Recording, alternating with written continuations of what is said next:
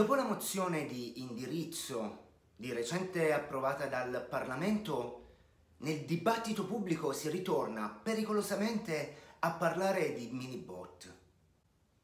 In verità non esiste una proposta articolata, ma nella sostanza dovrebbero essere passività dello Stato di piccolo o piccolissimo taglio. 10, 15, eh, 50, 100 euro, emesse senza tasso di interesse e senza scadenza. In una prima ipotesi è che i mini bot siano emessi con la possibilità per imprese e famiglie di utilizzarli per pagare le tasse. È ovvio che in tal caso sarebbero del tutto identici ad un taglio delle imposte o ehm, in modo equivalente ad un incremento di debito pubblico. Per capirci, facciamo un piccolo esempio. Se alla fine dell'anno un certo um, signor Rossini deve 100 euro al fisco, ma lo Stato gli dice che può usare 100 mini bot per pagarle, il signor Rossini risparmia 100 euro da spendere come vuole al ristorante, ad esempio, con gli amici, mentre lo Stato non incassa quei 100 euro eh, dovuti di tasse e deve quindi finanziare il deficit di entrate in qualche altro modo o riducendo la spesa pubblica oppure con un maggior debito.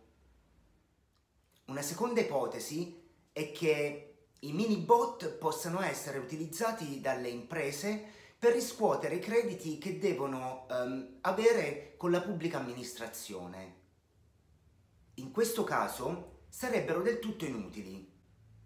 Se lo Stato deve 100 euro di pagamenti um, all'impresa del signor Rossini potrebbe finanziarsi sul mercato emettendo buoni del tesoro per 100 euro e girare poi quei 100 euro al signor Rossini per estinguere il proprio debito. Di fatto lo Stato starebbe scambiando una, passivi una passività, cioè i pagamenti dovuti all'impresa, con un'altra passibilità, i buoni del tesoro emessi per finanziarsi. Perché allora usare i mini bot? L'unica ragione per farlo sarebbe quella di eh, tassare implicitamente le povere imprese eh, creditrici. Se un'impresa fornitrice della pubblica amministrazione venisse pagata in mini bot oggi, potrebbe scontare il proprio, eh, il proprio credito solo più tardi al momento di pagare le tasse dovute. In ragione di questo lasso temporale più o meno lungo, di fatto è come se l'impresa sostenesse un costo implicito in misura pari ai mancati interessi. In altro modo, perché non ridurre le tasse alle imprese eh, dello stesso ammontare dei crediti esistenti, senza alchimie cartacee? Un guadagno per lo Stato una tassa implicita per l'impresa. È un ulteriore motivo per guardare Minibot con sospetto. Quello dei debiti inevasi dalla pub della pubblica amministrazione è un problema reale che va certamente affrontato, ma deriva da inefficienze strutturali del nostro sistema amministrativo e non può essere risolto con trucchi monetari. Ora, molti si chiedono anche se i mini bot equivarrebbero all'emissione di una nuova moneta. La risposta è che potrebbero. Potrebbero diventare moneta vera e propria. Di fatto soddisfano una condizione necessaria, ma non sufficiente, per essere moneta. Sono passività dello Stato, senza scadenza e senza tasso di interesse ma non è detto soddisfino la condizione sufficiente, cioè la fiducia. Per essere moneta, i mini bot devono essere accettati nelle transazioni. Se il signor Rossini riceve 100 mini bot dallo Stato e vuole utilizzarli per fare la spesa, ad esempio, dal signor Bianchini, il signor Bianchini le accetterà solo se ehm, di fatto potrà utilizzarle per pagare qualcun altro e così via.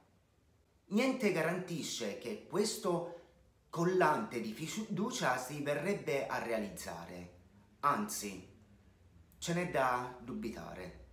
E se lo Stato dovesse però imporre per legge che i mini debbano essere obbligatoriamente accettati nelle transazioni, cosa succede? Beh, in tal caso il signor Bianchini non potrebbe rifiutarsi di accettarli come pagamento.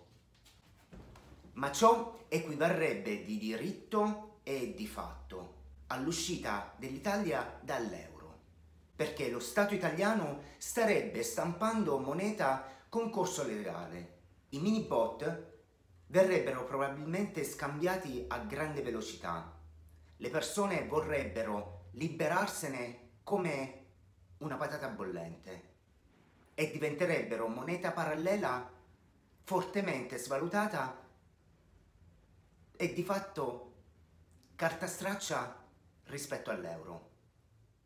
In conclusione, è evidente che i mini bot sono un um, espediente inutile e verosimilmente dannoso che nasconde probabilmente possibili scenari di realizzazione pratica dall'uscita da, dell'Italia dall'euro. Giovanni Tria si è accordato a Mario Draghi e ha bocciato senza appello i mini bot. Dice che sarebbe illegale o inutile che l'Italia mettesse obbligazioni per pagare i suoi fornitori, perché queste banconote violerebbero le regole della moneta europea o si aggiungerebbero al massiccio debito pubblico del paese. L'uscita di Tria è stata commentata dai due vice premier. Per primo è intervenuto il pentastellato Luigi Di Maio, dicendo che se lo strumento per pagare le imprese non è il mini bot, scrive, ha scritto in un post su Facebook, il MEF ne trovi un altro. Ma lo trovi perché il punto sono le soluzioni e, lo, e non le polemiche. A stretto giro arrivano le parole di Matteo Salvini.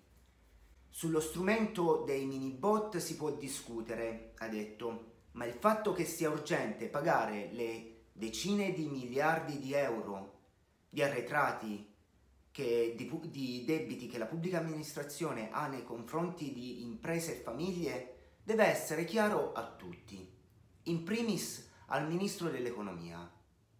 È una questione di giustizia. E allora ci chiediamo, ma cosa c'è di giusto nel voler pagare i creditori dello Stato con carta straccia? Grazie a tutti e alla prossima. Ciao!